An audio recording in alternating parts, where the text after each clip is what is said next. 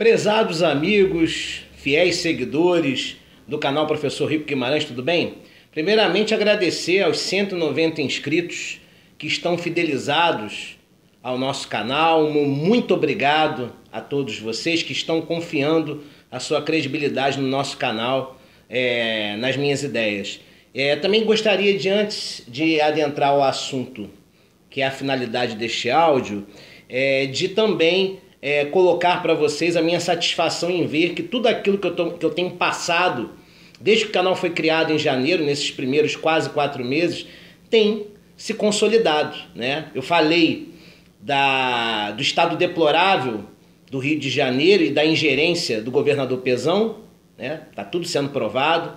Falei que o listão da Odebrecht sairia, né? Em menos de um mês, tá aí o listão da Odebrecht saindo, ainda tem uma segunda lista, né, um segundo listão. Então, foi comprovado também o listão do Odebrecht, como eu já havia previamente anunciado, e também é, é, confirmei, né, garanti as prisões de Pezão e Pisciane. No tocante ao Pisciane, teve uma jogada agora ali com a doença dele, né? É, espero que realmente né, isso seja verdade, que ele se trate, né? E que depois possa cumprir com os seus delitos é, na condição de apenado.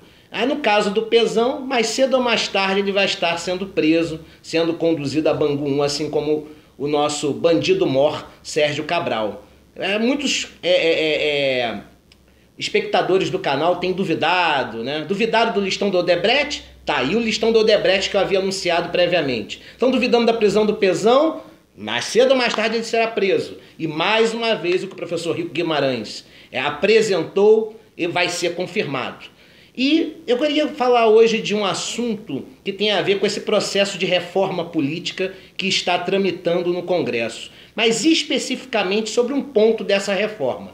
Refiro-me ao voto em lista. Eu sou totalmente contra essa modalidade de voto em lista. O sistema distrital misto de voto eu até sou a favor. Eu acho que é muito justo é, o indivíduo ser candidato apenas na região que ele representa e não ter que rodar o estado inteiro buscando municípios dos quais ele nem tem representatividade e tirando o espaço de um outro cidadão que pode representar melhor a região que ele conhece. Então, no tocante ao sistema de, de votação é, distrital mista, eu sou totalmente a favor. Agora, no que se refere ao voto em lista, eu sou integralmente contra. Por quê? Primeiro, que é uma democracia sem cara, uma democracia sem identidade. Né? Você faz uma lista e ela é formada pela instituição partidária.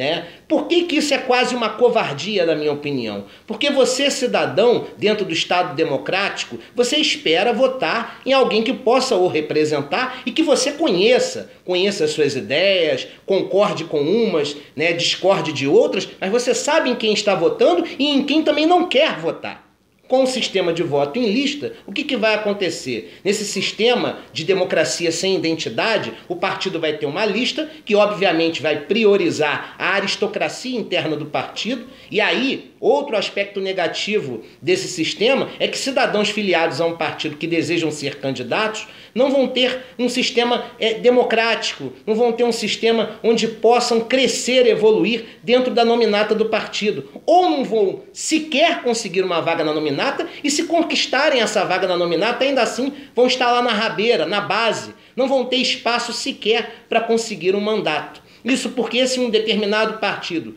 consegue eleger, devido ao seu coeficiente eleitoral, cinco é, é, é, candidatos, né, esses cinco candidatos são eleitos, automaticamente vão ser os cinco que estão acima na lista. E, obviamente, que terão prioridade aqueles que têm mandato ou aqueles que, através de negociatas, vão barganhar algo a favor do presidente do partido frente à iniciativa privada. Então, é um sistema antidemocrático, antiético e que não dá espaço para que quadros políticos novos possam surgir. Eu falo de você, cidadão comum, que se filia a um determinado partido e, obviamente, que num sistema de lista fechada vai ficar lá como retardatário, lá na base da lista e, de, e impossível você conseguir ter um mandato através desse sistema. O sistema atual, ele é falho, ele tem uma série de aspectos negativos, mas ainda é o sistema mais democrático. Por quê? Porque nesse sistema atual, dentro de um modelo de financiamento público de campanha honesto,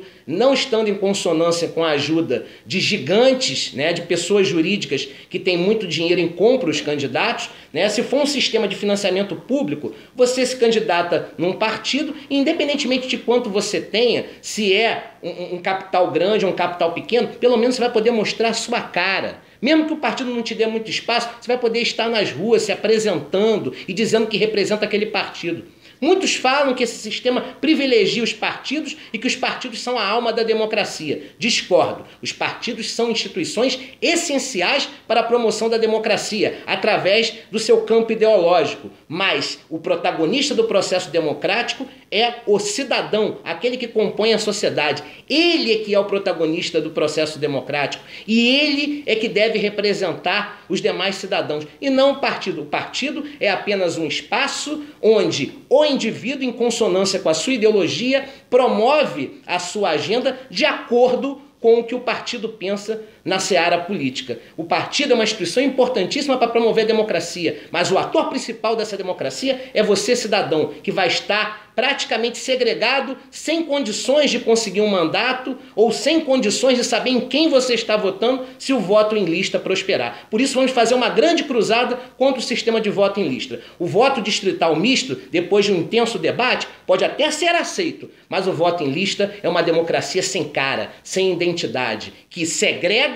pessoas que estão dentro do partido e que não estão em conluio com a sua direção, com o diretório, com a sua executiva e ao mesmo tempo não permite que você, cidadão, possa saber em quem está votando, além de encobrir esses malfadões ligados à Lava Jato, à Operação Calicute da vida, que vão é, penetrar na nominata sem você saber e sem querer você pode estar ajudando, votando em determinado partido, a eleger um mequetrefe que já praticou uma série de delitos e que está sujo com a justiça. Portanto, cabe a você lutar pelo exercício pleno da democracia e o voto em lista não está em consonância com isso. Um grande abraço, fique com Deus e peço encarecidamente que divulgue o nosso vídeo, que divulgue as nossas ideias, se inscreva no canal. Toque o sininho para receber notificações de novos vídeos e ajude a compartilhar o nosso canal com os seus contatos, com os seus amigos. Um grande abraço, felicidades. Tchau, tchau.